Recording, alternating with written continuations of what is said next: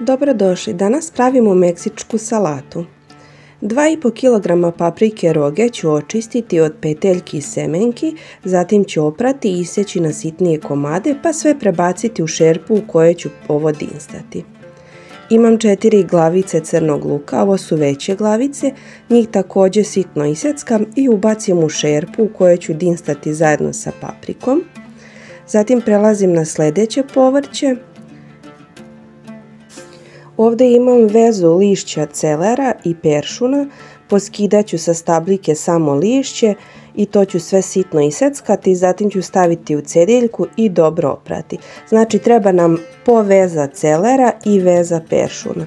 Sitno iseckajte, operite i spremite dok nam ne bude trebalo da se koristi. U papriku dodat ću 4 decilitra ulja, zatim ću sve dinstati oko pola sata povremeno promješajte kako vam ovo ne bi zagorelo, ali je u početku potrebno znači pola sata da se ovo udinsta. Posle toga dodajem litru domaćeg paradaj soka, vi možete koristiti u kupovni ukoliko nemate svoj.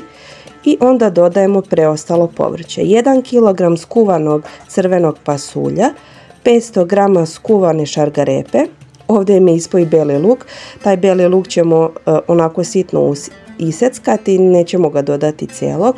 Znači šest čenova belog luka, sitno ga iseckajte ili kroz ovu cediljku kako se to već kaže usitnite.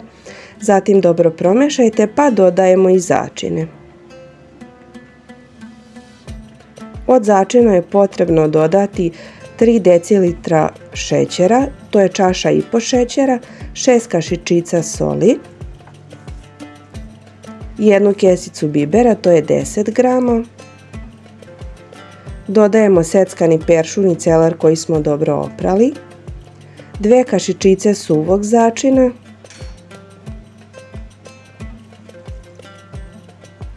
I čašu sirćeta, to je 200 ml.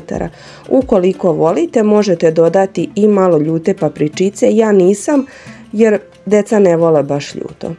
Zatim sve ovo kuvajte oko sat vremena.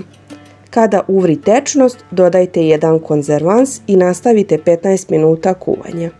Potrebno je da ova tečnost ispari i da vam se ovako vidi dno šerpe kad bude kuvano. Nakon toga punit ćemo u tegle. Punite pomalo kako vam tegle ne bi pukle.